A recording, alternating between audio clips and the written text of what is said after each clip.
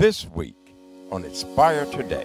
What are some of the things that can guide my daily decisions? How can I decide what's best for me to eat? So, you know, really quickly, you know, when you think about farmers markets, I encourage people, if you can, to shop at farmers markets. What you have there is access to produce when it's in its like highest nutritional value. You know, you want to get things that are in season Right. when it comes to that. So, farmers markets are a great way to do that. Shopping the perimeter of the grocery store. So, next time you're in a grocery store, think about how it's laid out. Typically, the fruits and the vegetables and the dairy and all of those things on the perimeter. The frozen fruits and vegetables tend to be on the perimeter. When you think about going down the aisles, what's down there? The packaged processed foods. I tend to shop around the perimeter more so than going down the aisles. Right, because they need to keep the refrigeration and everything is Right. bringing in the cool. Exactly. It has to be hooked up somewhere. Right. It can't be running through the middle Right. of the aisle. Wow, I, Yeah. I never thought of So that. So when you think about healthier options, it tends to be around the perimeter of the grocery store as opposed to down the aisles where the all of the process, processed foods tend to be. Um, and then also another thing that I try to um, get people to think about is to eat foods that will eventually rot. So think about that. When you have an apple or orange and it's starting to go bad, the same, you know, the bacteria that's on that piece of fruit that is also fighting for the nutrients that we are trying to get from it as well. So you want your food to eventually rot. That means that it is alive.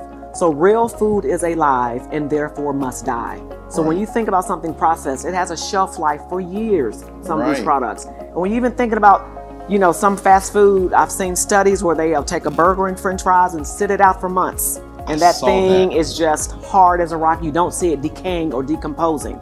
Real food is alive and therefore must die. So when I say eat real food, that's why I say eat real food. okay. Yeah. All right. Um, next, eat foods you can picture in their raw state or growing in nature. I can picture an apple. I can picture an orange. I can picture carrots growing as they do in nature. Mm-hmm. I can't picture a lot of the processed ingredients and things that are added to processed foods. You can't picture that because they are manufactured in a lab.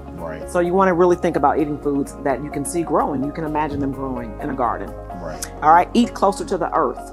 So basically, what that means is that the closer to the earth, the shorter the food chain, the healthier the food is likely to be, the less processed it's likely to be. And then finally, eat foods as you find them in nature. And again, I go back to the juicing segment where I talked about the juicing loses the fiber, smoothies, you know, contain the fiber. So when you think about an apple, it is packaged with the pulp for a reason. It allows it to absorb into our bloodstream a lot slowly and it makes us feel fuller quicker. Right. Now, the last two I want to do before we Mm-hmm. run out of time is show your spices some love Yes. and I eat indulgence. Yes, yes. Okay, so show your spices some love is basically saying, you know, when it comes to seasoning your food, a lot of people think healthy food has to be bland or boring. I say it doesn't. I say get into your spice cabinet and start to experiment with the spices that are in there so you can control the amount of sugar, salt, and oil that tends to be in your foods. Um, and then when it comes to indulgences, I call baked goods, desserts, junk food, I call those indulgences, which means that I have them occasionally. But my rule, and I hope that this is helpful to the viewers, is that when you think about an indulgence, I only have it if I'm willing to make it. No matter how old you are, no matter the color of your skin,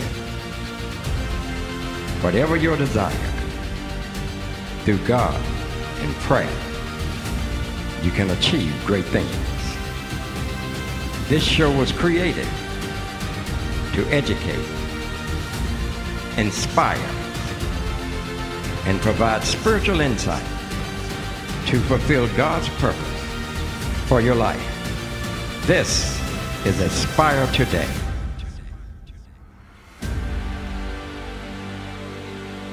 Aspire Nation, Health Nation, people looking for something better in their life as it relates to your health, your mental state, your spiritual state. I know last week you totally enjoyed and got a lot out of our show. And guess what? This woman of God is back. Miss Shauné Hayes is back to share with us some more tidbits on to get healthy. Listen, we need to get fit for the kingdom. We need to get fit for our children, mm-hmm. our spouses, our career paths. We need to be in shape. So the only way to get in shape is to learn from someone who's conquered that stronghold. Mm. And so today's show, you're going to see live examples in front of you of, mm. of, of juicing, and she's going to talk to us about what good juice is and what bad juice is. And I'm going to end the show dealing with uh, some more tips on our health. So don't you move. Stay right there at your television because you're going to be blessed. Miss Shauné, welcome back. Thank you for having me back. It's, I mean, just the different names of sugar astounds me. I know. It's almost like they're trying to hide things oh, from yes, us. Yes, absolutely. Absolutely. Very hidden. yeah. So, you know, we were talking last week, and Mm-hmm. one of our ministers wanted to really know about the juice that they have in the store. I mean, Mhm. everywhere you go, 100% this, Right, 100% right. that, but then you turn and you look at the back of the label Right. and it says more than just the name of the fruit, right? Exactly. So yes. Hip us to that. What's right. going on with that? Right. So what you just said, it says more than the name of the fruit. So if you're someone who is, you know, first of all, I'm a big believer in making your own juice at home, which is why we're going to, you know, get into that later. Hmm. But if you're someone who, you know, doesn't have a juicer and just wants the convenience of being able to pick up a juice, look for look for juice that is a hundred percent juice, whatever that fruit is. So if it's orange juice, look for it to be 100% oranges. Mm-hmm. Okay, it doesn't need to be anything else. No added sugar, no added uh, whatever else they could put it. I mean, gosh, what else do you? Why do you want to mess oranges up? By putting stuff, I mean, by putting stuff in it. But you'll see a lot of times they'll do like fruit juice concentrate. They'll add different types of syrups to it, artificial colors and flavors, which again, those are all things that can you know affect our you know our health as well as our brain. Um, but you want it to just be 100% pure juice if possible. Nothing else added. Right now, stores such as Mom's Organic, Mm-hmm. places like that, are those good places to go to find these 100% like foods, organic foods and juices? Mm-hmm. Yeah, Mom's is great. I mean, also, you know, just if, if you're thinking about just your local, you know, area grocery stores, those are great as well. The key is really becoming a someone who looks at the ingredients. That really is the key. No matter what store you're in, looking at the ingredients is what's going to determine is this the best decision? Is this the best option? Is this the healthiest option that I can make? Right. You know, right, so I yeah. So yep. So not being lazy, other Not words. yeah, absolutely. Just taking a little bit of time to read what's on the back of the ingredients. Right, That's right. even more so important than the nutritional the nutrition facts. Mm-hmm. What is in that product? yeah, because I, I know that sometimes you turn on the back of a carton and you see all of these different things, and we're consuming that. Absolutely. You know what I mean? Yes. Uh, I know that they link a lot of different things to Mm-hmm. what, especially cancer. Mm-hmm. Yes. Uh, absolutely. So we want to, audience, we want to pay attention to what we're doing, right? Just The same way that we pay attention to our light bill, right. same way we, we Right. pay attention to if our car sounds Right, fine when right. we start it up in the morning. Absolutely. We need to pay attention to what we're putting in our temple, in Definitely. our bodies. Yes. One of the things that I tell my clients is avoid food products that you can't pronounce or Yeah. that you would not keep in your pantry. Come on, talk about that. Talk, so talk think about it. So you're, you're looking at a product and you see something on it called um, soy protein or soy Mm-hmm. protein concentrate, or you see something called monosodium glutamate, which is MSG, or I you see something called ethyl ethyl diglycerides. Like I can only pronounce it because I've studied it, Right. but your average consumer is looking at that like, what is that? Exactly. And and where would you keep that in your pantry? You know what I mean? So think about things like that. Like if it's something that you can't picture in your pantry, then I would be cautious about, you know, what it is and what it could ultimately do to your Right. health. Right. Y'all heard that right. If you can't pronounce it, if you can't break it down in syllables and still say it right, don't put it in your body. And if you can't picture it growing, growing outside in a garden. yeah, glycerides don't grow right, outside, exactly. right? They're manufactured, they're created. So Come yeah, on. right. come on, come on. So we want to have foods that we can picture growing in their raw state. We can picture growing in a garden. We can go outside and bring it inside. Farm to table, that truly is farm to table. Wow. Going outside to your garden, picking those collard greens or kale, bring them inside and cooking them for your family. You Wow. know? Yeah. Wow. Yes, nothing wrong. I mean, the Bible is based on farming. Yes. God in Genesis 8:22, God says, as long as the earth remains, seed time and harvest. Mm, that's good. You put something in God's ground and it produces a harvest Yes. that He intended yes. for our lives, Ooh, right? come on. Yes. So that's right. That's good stuff. I tell that's you, we we're want to going eat. to do some juicing, okay. right? Let's All do right. some juicing. So, audience, what we're going to do is uh, we're going to get set up. We'll take a quick little break. We'll have some information for you. And then when we come back, Miss Hayes is going to show us the proper way to juice, Mm-hmm. how to juice, She'll have her machine up, and we're going to bless you with a real live presentation of how to digest a uh, healthy amounts of food because mm-hmm. some people they can't take foods in their I think you said their raw form or their right. their solid form. Exactly. Right. So right. you need to juice. Right. So we're going to show you the right way to do it. We'll be right back. Awesome. Aspire Nation, welcome to Real Juicing. All right, so right now we're going to talk about juicing really quickly, and then I'm going to walk through three simple juicing recipes um, that I think you would love, and we're going to have Pastor even try them. Um, so juicing is simply taking fruits and vegetables and extracting the juice from them, and you know what is left is a concentrated, nutrient-rich uh, juice that you want to consume as soon you know as possible, because the longer that the juice sits, it kind of takes away from the nutritional value. So I want to briefly share the benefits of juicing and then I'm going to start making these recipes. So when you think about juicing, I want you to remember the acronym DRINK, D-R-I-N-K. D is for detoxification. Um, when you think about juicing, it really does detoxify our system. It kind of cleanses our system. And also D is for digestion. It absolutely makes it a lot easier to kind of digest the fruits and the vegetables. So if you are someone who has trouble like, you know, consuming an apple on the skin, it's really hard for you to digest that fiber, or even when it comes to fruits, um, to other vegetables like kale or carrots, juicing will allow you to, you know, get the benefits of kale and carrots and all of these other whole fruits and vegetables, but it'll be a lot easier for your body to digest and easier for it to absorb into the bloodstream. R is for rest. So when you think about juicing, you are actually giving your intestines and your stomach a break. All right, so R is for rest. So juicing is really good if you want to just take a break from having to digest so much food, right?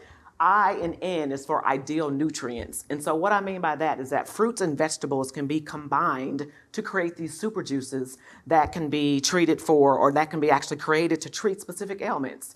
So, if you're someone who you're looking to, maybe you're suffering from bloating, or maybe you're trying to, um, you want something for liver support, or kidney support, or even cancer prevention, cancer prevention, you can actually put fruits and vegetables together in a very concentrated way to treat certain ailments. Um, K is for our kids. I didn't want to leave our kids out.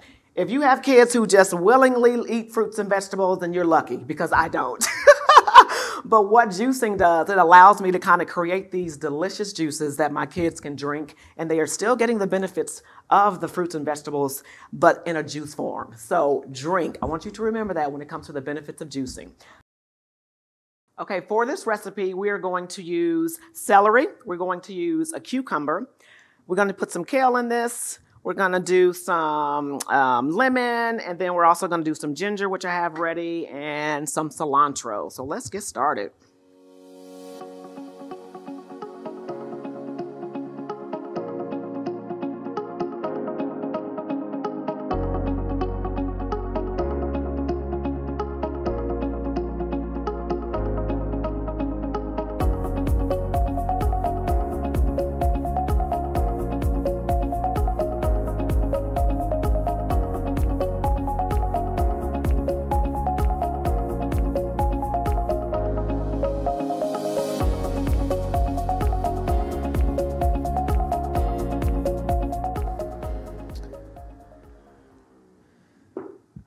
So this is our green energy juice. So if you are someone who is looking to boost your energy, maybe you haven't been getting a lot of sleep, or maybe you just need a quick pick me up, this is 100% juice. This is our green energy juice. Aspire Nation, we are back with more healthy juicing. And before I get into the second recipe, I just want to talk briefly about the difference between juicing and making smoothies because I get asked that question a lot. So juicing, you're basically taking an apple or a cucumber or a carrot. You're taking, removing the pulp or the fiber, okay? And you're drinking that in its concentrated juice form once it has gone through the juicer. With a smoothie, you're kind of keeping those, um, the fiber intact and you're blending that up in the smoothie. So what the fiber does, because I want you all to understand that it is good stuff. Um, nature always comes packaged with fiber when we think about an apple or we think about the outside of a carrot or things of that nature. And what the fiber does, it allows us to feel fuller quicker when we eat, like, say, an, a full apple. Um, but when you're taking juice in its pure form, when you think about it, I'm fuller when I eat an apple in its whole state as opposed to when I drink just apple juice. It just makes me fuller. So that's kind of the difference between juicing and smoothies. With the smoothies, you're still getting the fiber, and with the juicing, you're not. All right, so let's get into our second recipe, which is a carrot and apple juice. And so for this recipe, we're gonna do carrots, apple, we're gonna do lemon again, and ginger, and that's it.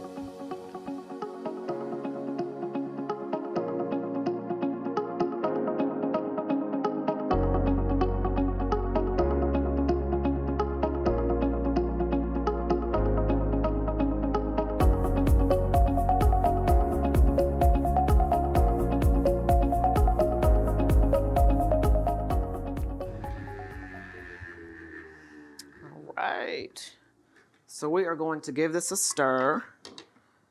And then I'm going to taste again. So you can see the carrots yield a lot of juice. It's one of my favorite vegetables to juice with.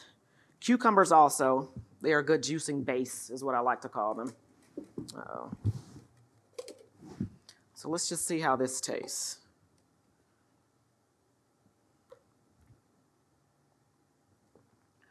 Ooh, this is delicious. I think I might like this a little bit better than my green energy juice. It's all good. It's a little sweeter because of the carrots, but this is really delicious. All right, so that is recipe number two, and we have one more coming up. All right, Aspire Nation, we are back with our final juice recipe. And before I get into that, remember when I was talking about the difference between juicing and smoothies? Juicing removes the fiber. As you can see, there's got the carrots that have been removed, the ginger, all the things in our previous recipe. The juicing process removes that fiber from it. So I just kind of wanted to show you this so that you can see the difference in juicing and again, making smoothies. All right, so for our final recipe, this is a beet and ginger juice recipe. And so we're gonna be using some beets, we're gonna be using another green apple, another cucumber, half of a lemon, and then some ginger.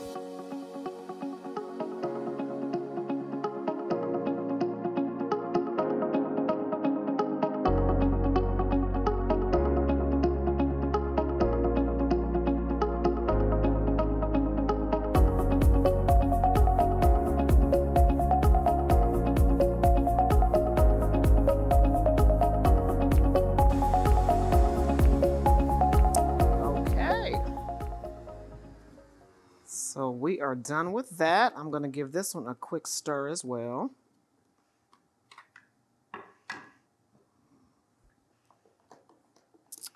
Look at all that good color. Ah. So one thing about beets, they are very high in vitamins and minerals and just all types of good nutrients. Um, I like my beets juiced. I don't like them cooked. I know some people do like cooked beets, but I prefer to juice them. Ooh, that is a beautiful color. Look at that. Another good one. okay, maybe I'm biased, but all three of these recipes are delicious, and I hope that you will give them a try and let me know what you think about them.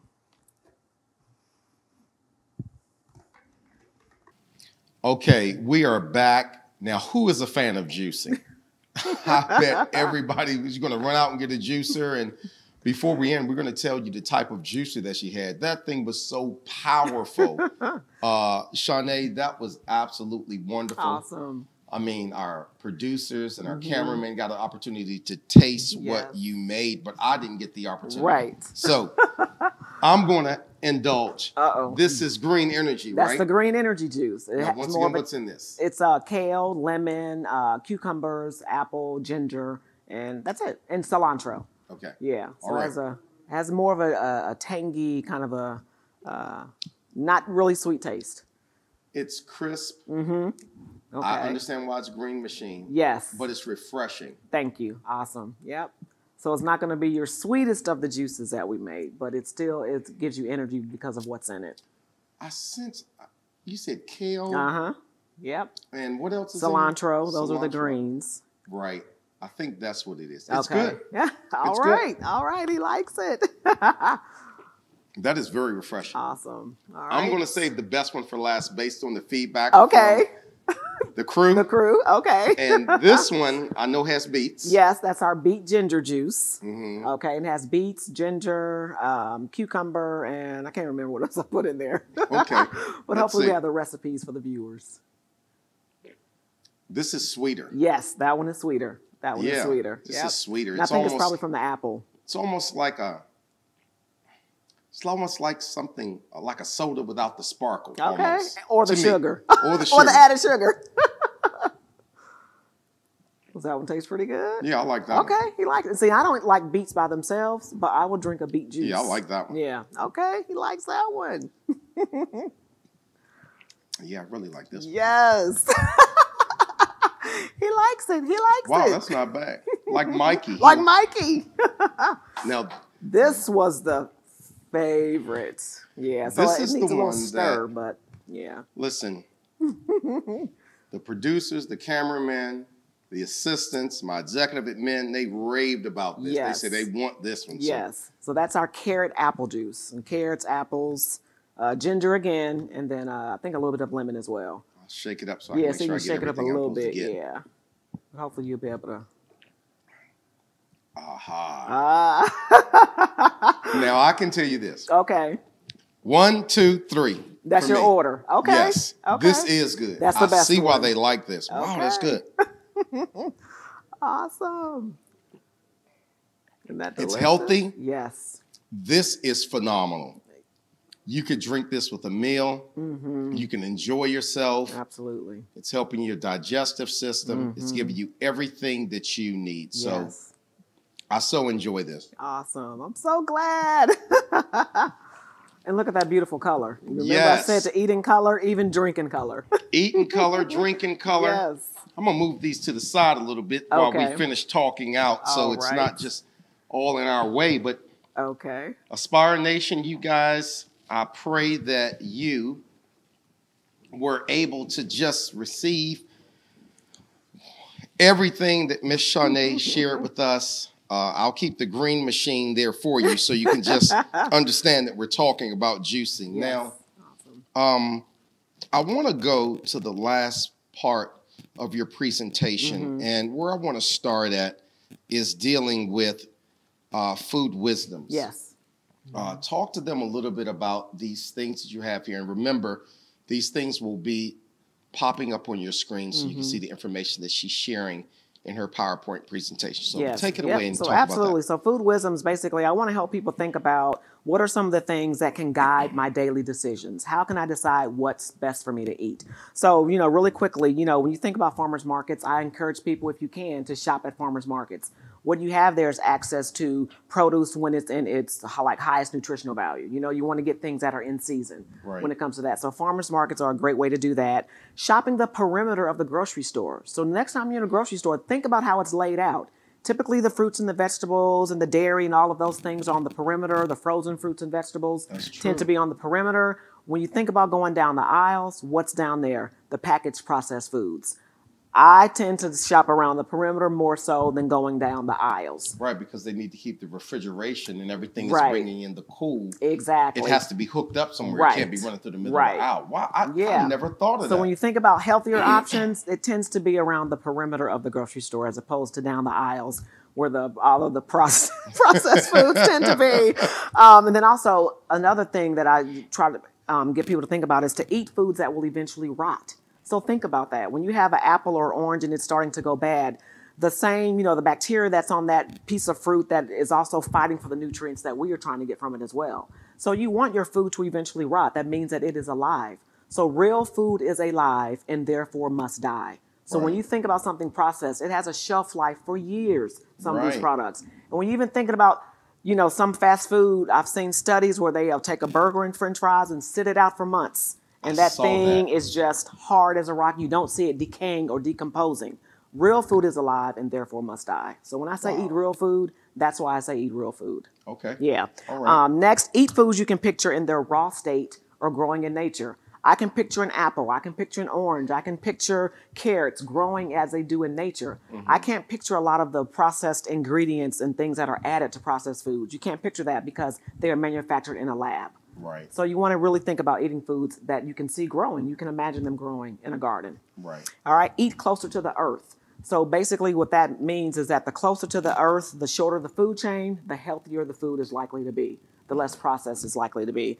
And then finally, eat foods as you find them in nature. And again, I go back to the juicing segment where I talked about the juicing loses the fiber. Smoothies, you know, contain the fiber. So when you think about an apple, it is packaged with the pulp for a reason. It allows it to absorb into our bloodstream a lot slowly, and it makes us feel fuller quicker. Right.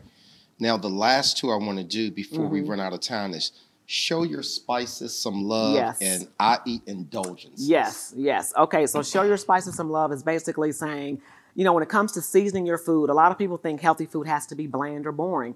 I say it doesn't. I say get into your spice cabinet and start to experiment with the spices that are in there so you can control the amount of sugar, salt, and oil that tends to be in your foods. Um, and then when it comes to indulgences, I call baked goods, desserts, junk food, I call those indulgences, which means that I have them occasionally. But my rule, and I hope that this is helpful to the viewers, is that when you think about an indulgence, I only have it if I'm willing to make it. So if I want an apple pie or a chocolate chip cookie or a cake, I'm going to make it at home to really decide if I do want that. Because with that, I can control what's in it. When you're going to pick up something like that in the store, you're contending with a lot of other ingredients that are in that. Right. So right. I like to make my own desserts. Listen, just the work alone is going to make you think twice. and and that's the point. So yes.